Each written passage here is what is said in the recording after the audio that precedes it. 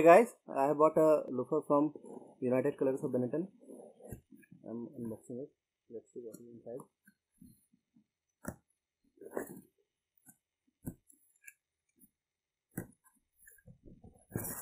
Traditional old Flipkart packing.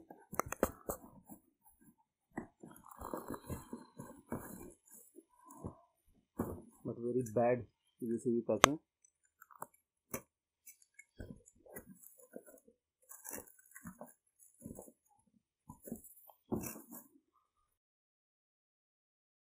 Box looks good. The material is very good. The sole looks firm. It is not soft. I think it will be durable